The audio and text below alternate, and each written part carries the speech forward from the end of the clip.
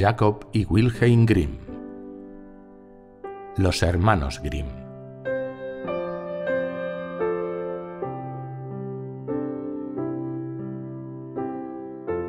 Blancanieves.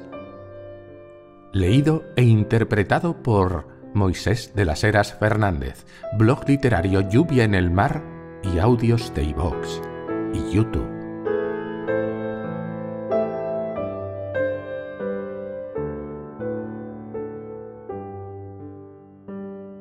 Había una vez, en pleno invierno, una reina que se dedicaba a la costura, sentada cerca de una ventana con marco de ébano negro. Los copos de nieve caían del cielo como plumones. Mirando nevar se pinchó un dedo con su aguja y tres gotas de sangre cayeron en la nieve. Como el efecto que hacía el rojo sobre la blanca nieve era tan bello, la reina se dijo, Ojalá tuviera una niña tan blanca como la nieve, tan roja como la sangre y tan negra como la madera de ébano. Poco después tuvo una niñita que era tan blanca como la nieve, tan encarnada como la sangre, y cuyos cabellos eran tan negros como el ébano. Por todo eso fue llamada Blancanieves.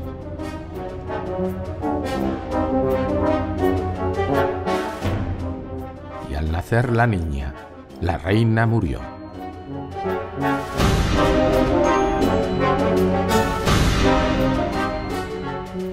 Un año más tarde el rey tomó otra esposa.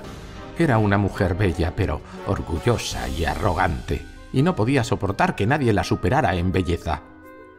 Tenía un espejo maravilloso, y cuando se ponía frente a él, mirándose le preguntaba Espejito, espejito de mi habitación, ¿quién es la más hermosa de esta región? Entonces, el espejo respondía La reina es la más hermosa de esta región.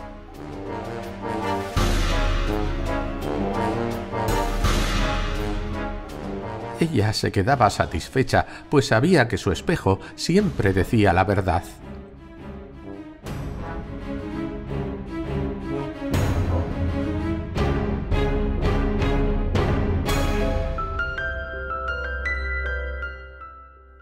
Pero Blancanieves crecía y embellecía cada vez más. Cuando alcanzó los siete años era tan bella como la luz clara del día, y aún más linda que la reina. Ocurrió que un día, cuando le preguntó al espejo, Espejito, espejito de mi habitación, ¿quién es la más hermosa de esta región? El espejo respondió, La reina es la hermosa de este lugar. Pero la linda, Blancanieves, lo es mucho más.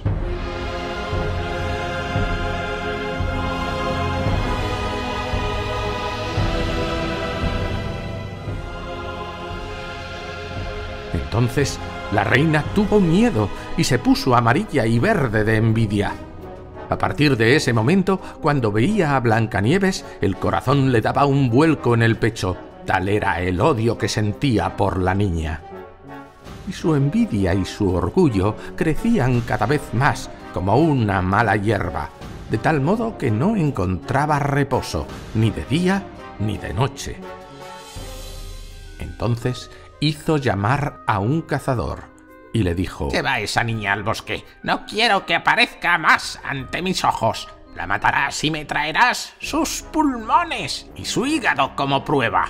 El cazador obedeció y se la llevó, pero cuando quiso atravesar eh, el corazón de Blancanieves, la niña se puso a llorar y exclamó Mi buen cazador, no me mates.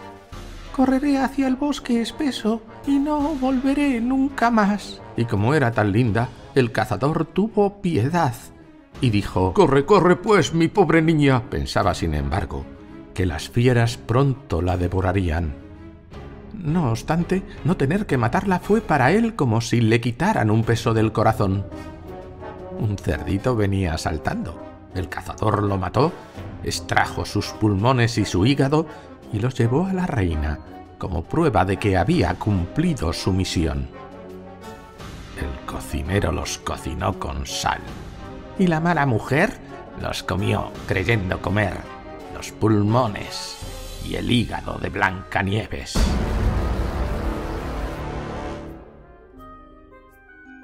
Por su parte, la pobre niña se encontraba en medio de los grandes bosques, abandonada por todos y con tal miedo que todas las hojas de los árboles la asustaban. No tenía ni idea de cómo arreglárselas y, entonces corrió y corrió sobre guijarros filosos y a través de las zarzas. Los animales salvajes se cruzaban con ella, pero no le hacían ningún daño. Corrió hasta la caída de la tarde. Entonces...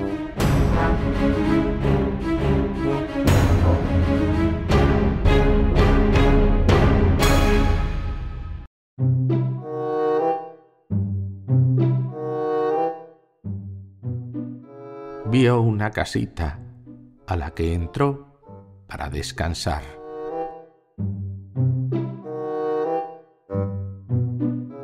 En la cabañita todo era pequeño, pero tan lindo y limpio como se pueda imaginar.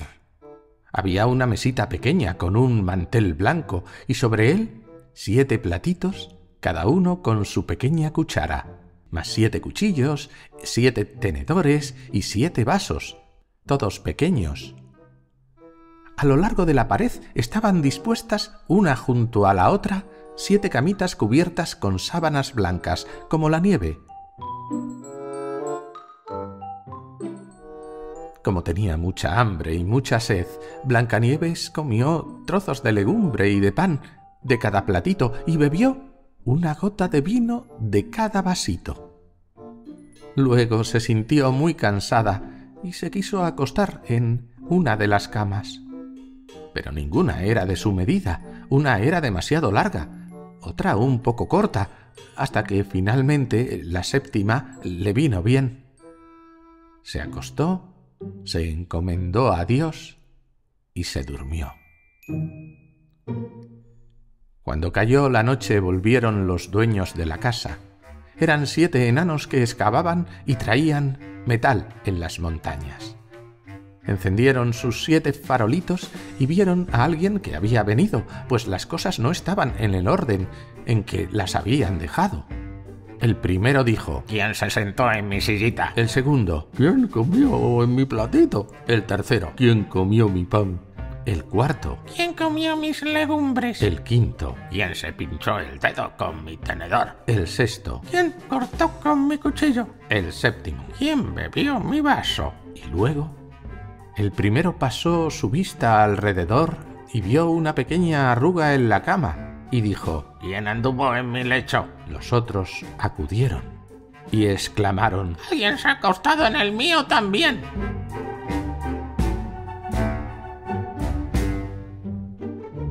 Mirando el suyo, el séptimo descubrió a Blancanieves acostada y dormida. Llamó a los otros, que se precipitaron con exclamaciones de asombro. Entonces fueron a buscar sus siete farolitos para alumbrar a Blancanieves. ¡Oh, mi Dios! exclamaron. ¡Qué bella es esta niña! Y sintieron una alegría tan grande que no la despertaron y la dejaron proseguir su sueño el séptimo enano se acostó una hora con cada uno de sus compañeros, y así pasó la noche.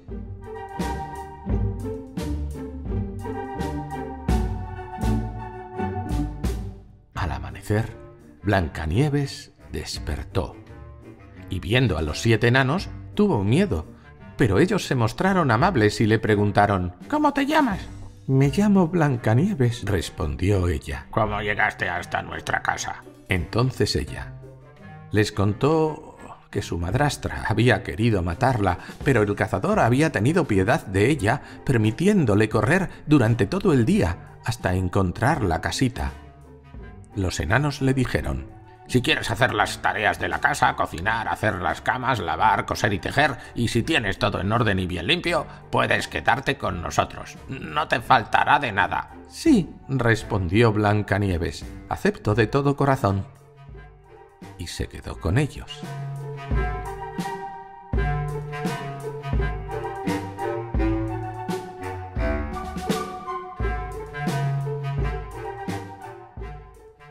Blancanieves tuvo la casa en orden. Por las mañanas, los enanos partían hacia las montañas donde buscaban los minerales y el oro y regresaban por la noche. Para ese entonces, la comida estaba lista.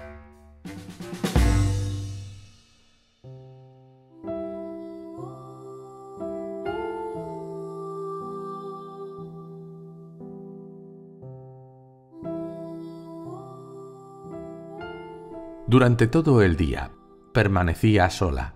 Los buenos enanos la previnieron. Cuídate de tu madrastra. Pronto sabrá que estás aquí. No dejes entrar a nadie. No dejes entrar a nadie.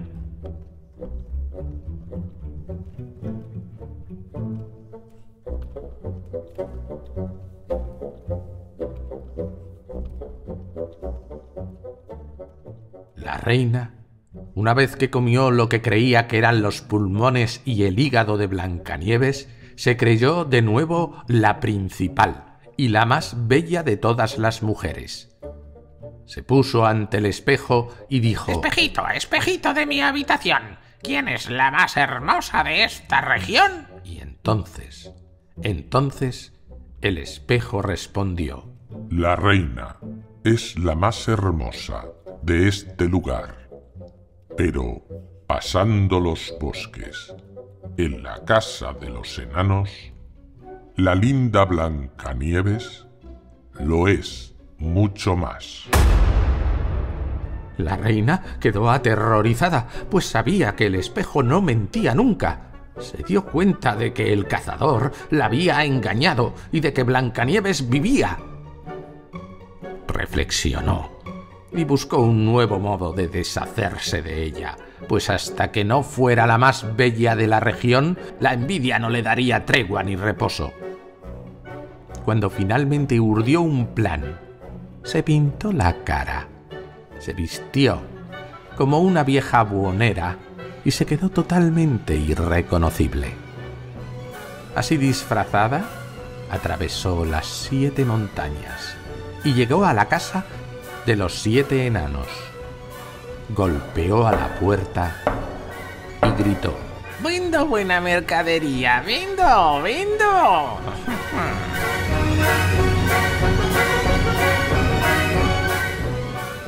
Blancanieves miró por la ventana y dijo, Buen día, buena mujer. ¿Qué vende usted? Una excelente mercadería. Respondió. Cintas de todos los colores. La vieja sacó una trenzada en seda multicolor, y Blancanieves pensó, bien puedo dejar entrar a esta buena mujer. Corrió el cerrojo para permitirle el paso y poder comprar esa linda cinta.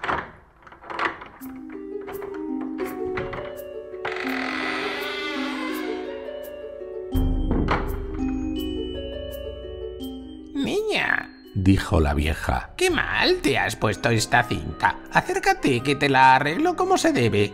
Blancanieves, que no desconfiaba, se colocó delante de ella para que le arreglara el lazo. Pero rápidamente la vieja lo oprimió tan fuerte que Blancanieves perdió el aliento y cayó como muerta.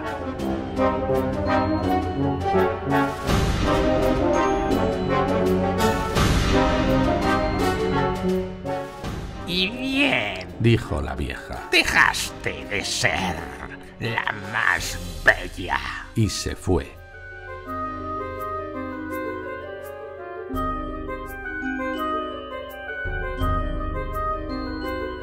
Poco después, a la noche, los siete enanos regresaron a la casa y se asustaron mucho al ver a Blancanieves en el suelo inmóvil. La levantaron y descubrieron el lazo que la oprimía. Lo cortaron y Blancanieves comenzó a respirar y a reanimarse poco a poco. Cuando los enanos supieron lo que había pasado, dijeron. La vieja vendedora no era otra que la malvada reina. Ten mucho cuidado y no dejes entrar a nadie cuando no estamos cerca.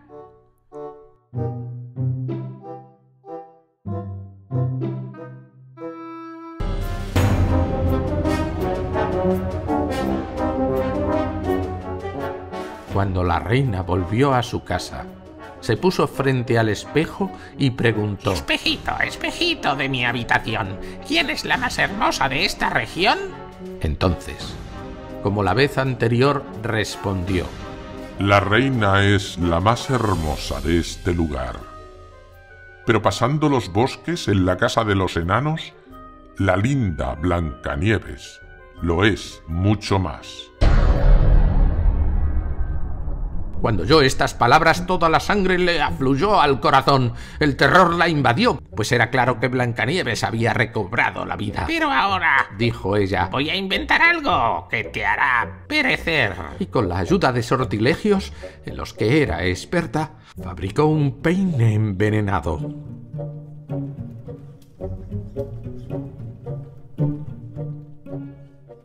Luego se disfrazó tomando el aspecto de otra vieja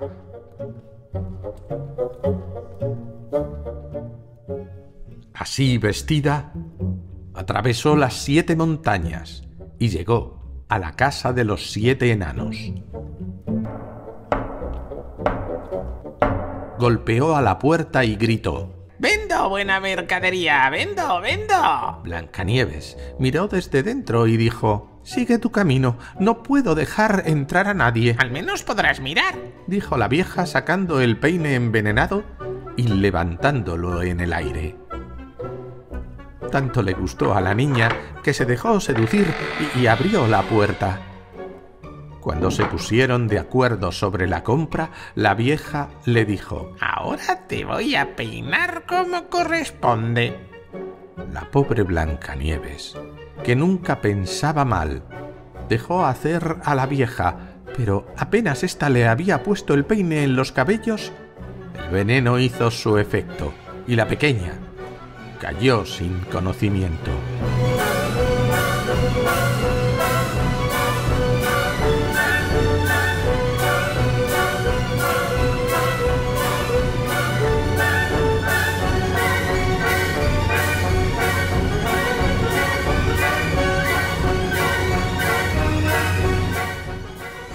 prodigio de belleza, dijo la mala mujer. Ahora sí que acabé contigo.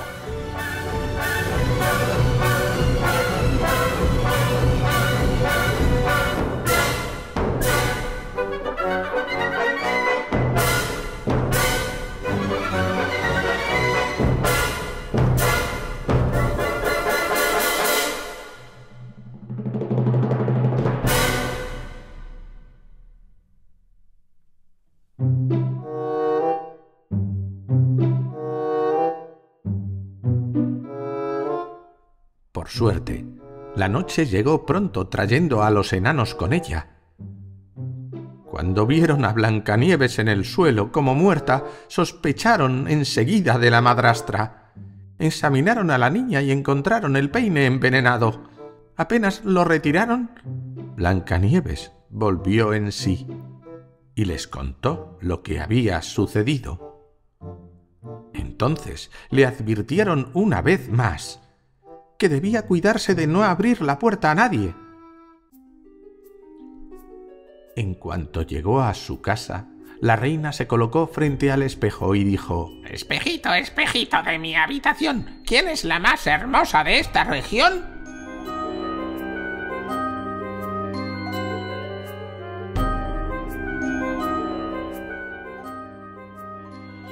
Y el espejito respondió nuevamente la reina es la más hermosa de este lugar.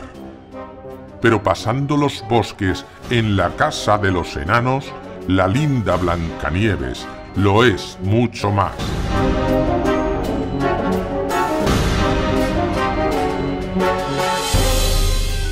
La reina, al oír al espejo de este modo, se estremeció y tembló de cólera. ¡Es necesario que Blancanieves muera! exclamó. Aunque me cueste la vida a mí misma.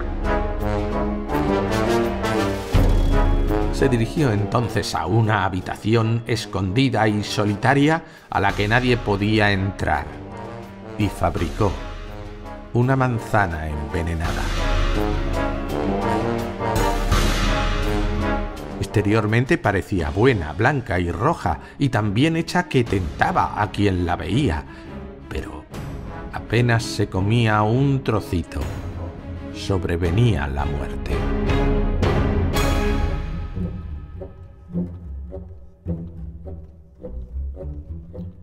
Cuando la manzana estuvo pronta, se pintó la cara, se disfrazó de campesina y atravesó las siete montañas hasta llegar a la casa de los siete enanos.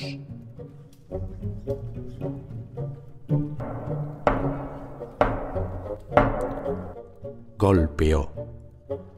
Blancanieves sacó la cabeza por la ventana y dijo, No puedo dejar entrar a nadie, los enanos me lo han prohibido. Oh, no es nada, dijo la campesina. Me voy a librar de mis manzanas. Toma, te voy a dar una. No, dijo Blancanieves. Tampoco debo aceptar nada. ¿Temes que esté envenenada? dijo la vieja. Mira, corto la manzana en dos partes. Tú te comerás la parte roja y yo la blanca. La manzana estaba tan ingeniosamente hecha que solamente la parte roja contenía veneno. La bella manzana tentaba a Blancanieves y cuando vio a la campesina comer, no pudo resistir más. Estiró la mano y tomó la mitad envenenada. Apenas tuvo el trozo en la boca, cayó muerta. Entonces la vieja examinó con mirada horrible, rió muy fuerte y dijo, Blanca como la nieve, roja como la sangre, negra como el ébano. Esta vez los enanos no podrán reanimarte.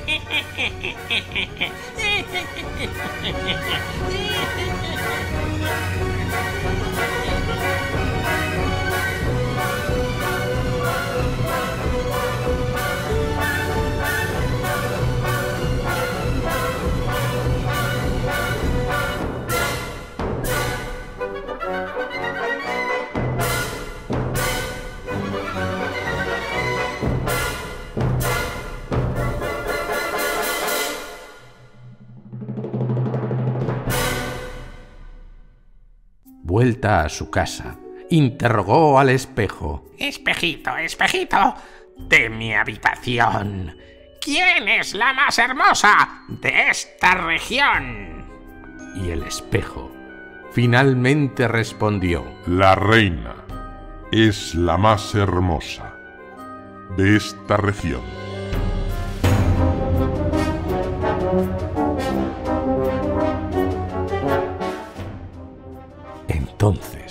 Su corazón envidioso encontró reposo, si es que los corazones envidiosos pueden encontrar alguna vez reposo.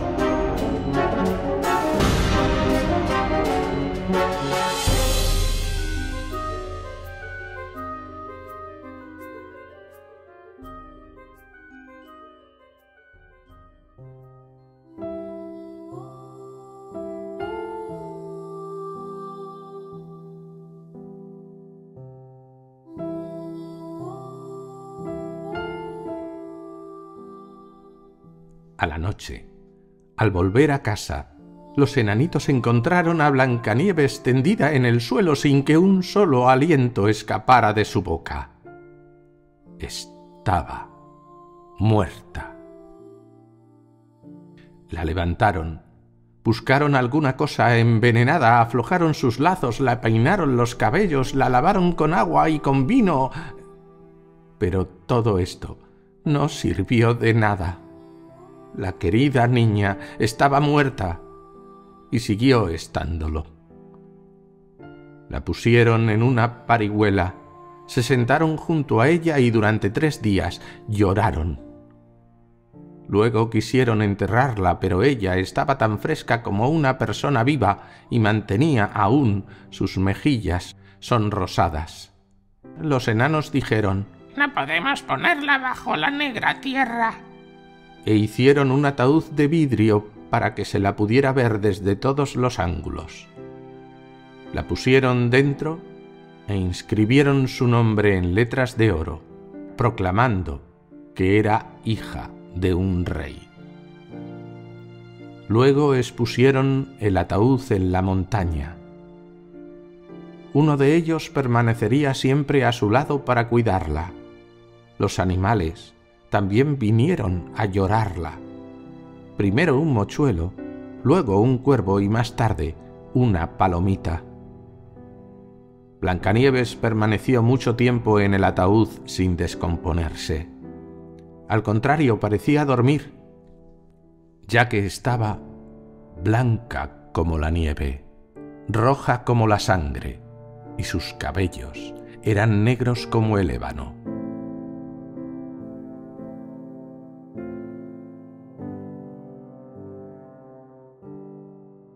Ocurrió una vez que el hijo de un rey llegó, por azar, al bosque y fue a casa de los enanos a pasar la noche. En la montaña vio el ataúd con la hermosa Blancanieves en su interior y leyó lo que estaba escrito en letras de oro. Entonces dijo a los enanos, Dadme ese ataúd, les daré lo que quieran a cambio. No lo daríamos por todo el oro del mundo, respondieron los enanos. En ese caso, replicó el príncipe, regálenmelo, pues no puedo vivir sin ver a Blancanieves la honraré, la estimaré como a lo que más quiero en el mundo. Al oír hablar de este modo, los enanos tuvieron piedad de él y le dieron el ataúd. El príncipe lo hizo llevar sobre las espaldas de sus servidores, pero sucedió que éstos tropezaron contra un arbusto y como consecuencia del sacudón, el trozo de manzana envenenada que Blancanieves aún conservaba en su garganta fue despedido hacia afuera. Poco después, abrió los ojos, levantó la tapa del ataúd y se irguió, resucitada. ¡Oh, mi Dios! ¿Dónde estoy? exclamó. Estás a mi lado, le dijo el príncipe lleno de alegría. Le contó lo que había pasado y le dijo, Te amo como a nadie en el mundo Ven conmigo al castillo de mi padre, serás mi mujer. Entonces, Blancanieves comenzó a sentir cariño por él y se preparó la boda con gran pompa y magnificencia. También fue invitada a la fiesta la madrastra criminal de Blancanieves. Después de vestirse con sus hermosos trajes, fue ante el espejo y preguntó Espejito de mi habitación, ¿quién es la más hermosa de esta región? El espejo respondió. La reina es la más hermosa de este lugar. Pero la joven reina lo es mucho más. Entonces la mala mujer lanzó un juramento y tuvo tanto, tanto, tanto miedo que no supo qué hacer. Al principio no quería ir de ningún modo a la boda, pero no encontró reposo hasta no ver a la joven reina.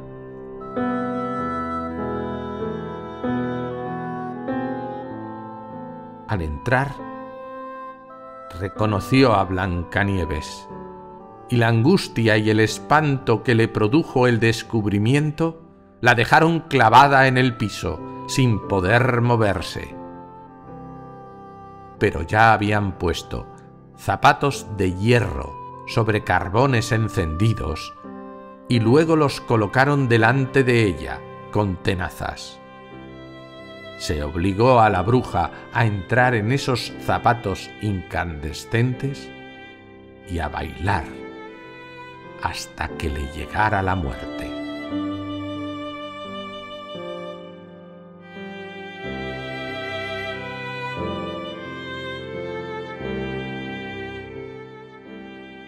Han escuchado Blancanieves